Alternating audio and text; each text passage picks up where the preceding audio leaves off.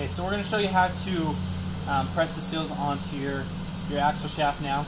We put a new U-joint in, um, as you can see, and we put a new outer shaft. Um, this customer's outer shaft was bad. Um, so the process for this would be for if you're going to press your vacuum seal on a full assembly. Um, we've set up our press here so we can stick it through. Okay, so we've got it set up here in the press on these blocks. Now if you're going to press your vacuum seal on this way, you got to make sure this U-joint is in there. Um, that U-joint gives it enough strength, you know, in the holes where it goes through so that you're not going to bend these ears by pressing down on it. So you get it set up, you're going to put your vacuum seal on, Dana Spicer, and then we use this tool. It's, uh, it's made for this. It's part number 6695. Uh, we just got it on the internet. Um, we recommend always using this tool so you don't bend this seal. Pretty simple. You slide it over that, that outer shaft. And I always spin it like this make sure that you're lined up so you don't have, you know, so you're, you're not cockeyed or have something crooked on there. And then we just have some spacers. And we use a bolt and another spacer just so we don't have to, you know, crank on the press and get it all the way down. It just makes it a little bit faster. You get those lined up. And just go slow. Make sure everything's pressing on right as it should. And the way this tool is designed, you go until it bottoms out.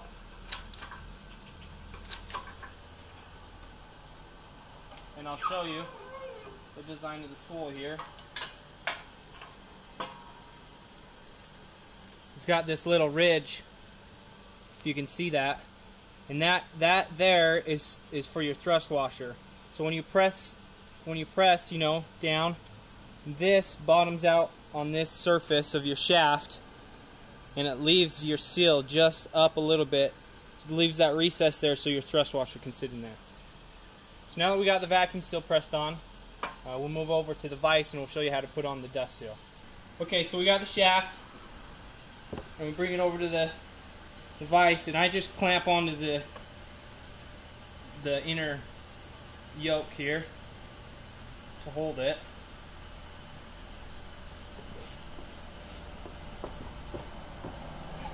Make sure it's pretty tight in there, it's not going to fall.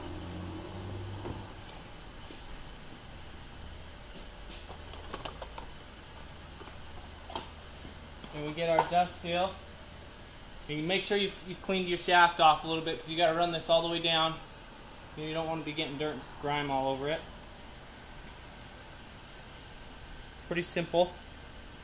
You kind of just push it on by hand a little bit.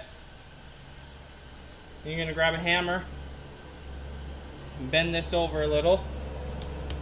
And you just tap it on. Go back and forth. Side to side.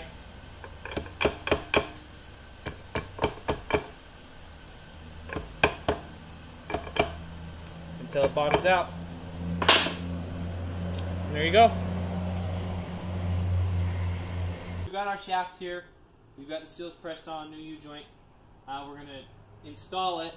Uh, before you install it, take a little bit of grease, like we have here.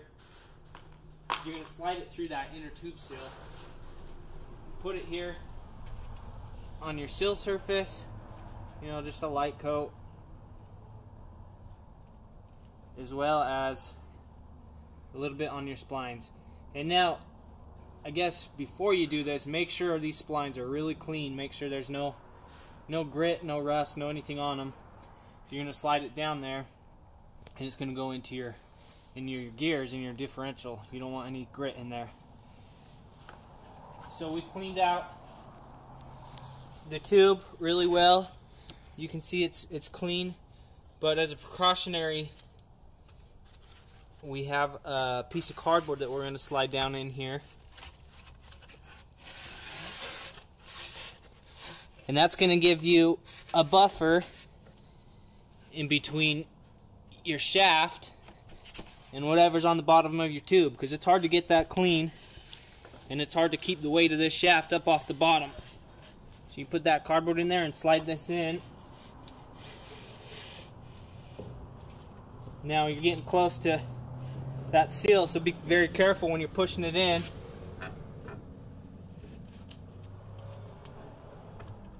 It's going to slide up and you might have to rotate it a little bit to get it to line up into the gears.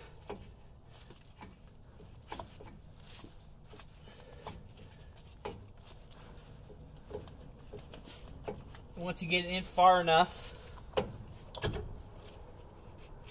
pull this cardboard piece out.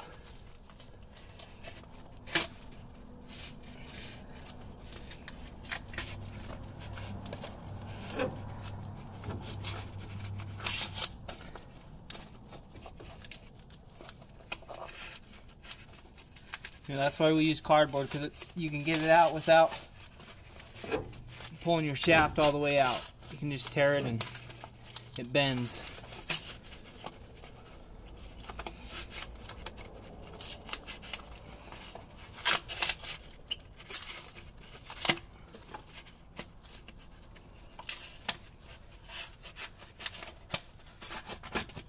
Okay, so we got that out. Finish sliding that in.